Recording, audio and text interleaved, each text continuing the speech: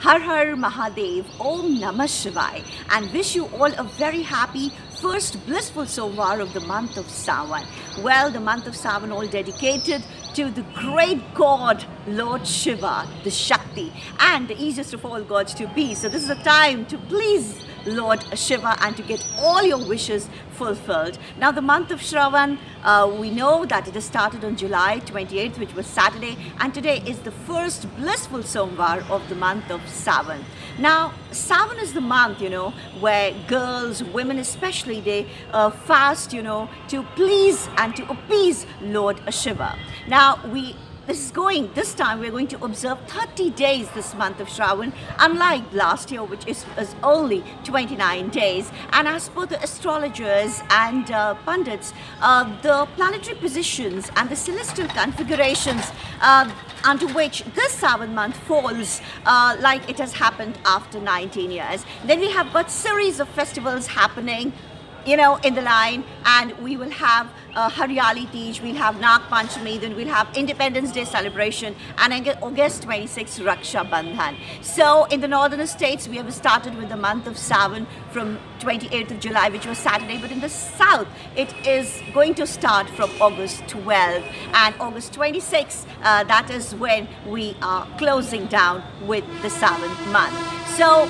uh, let's uh, see what exactly, and I have been to temples and you know, they are reverberating, uh, resounding with the echoes of Om Namah Shivaya, Har Har Mahadev. Now, how to please Lord, you offer water, you keep good thoughts, you keep pious soul and you just ask him for anything and Lord Shiva is in this best of mood to fulfill all your wishes. Mrityunjay Jap or offering water or fruits or bel patra or milk to the shivling, that is going to be your best puja. But I also believe that nothing can be hidden from God. So keep your intentions pure and pious and have blissful, blissful the month of Savan.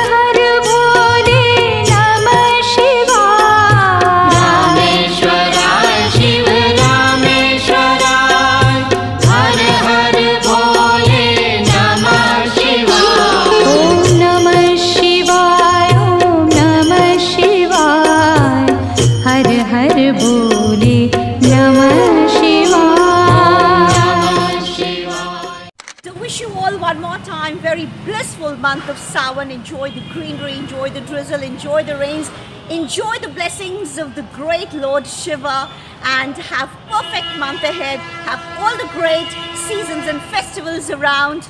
Wish you one more time great times. Om Namah Shivaya. Har Har Mahadev.